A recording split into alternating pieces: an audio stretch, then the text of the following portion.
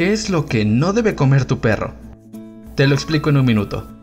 Aunque todas las razas de perros descienden de los lobos, los perros domésticos no son lobos. No debes darle carne cruda ni huesos ya que no digieren bien la carne cruda y su sistema digestivo puede obstruirse con los huesos. Ni siquiera los lobos se comen los huesos de sus presas, así que no hay razón para darle huesos a tu perro.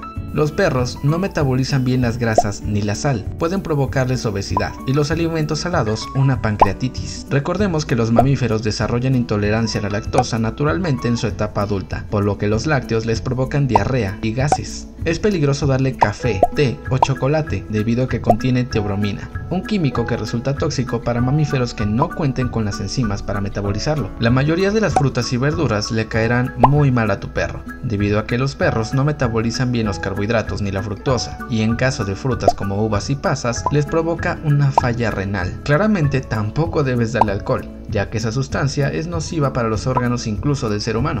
Pero eso es tema para otro video. Hasta la siguiente semana.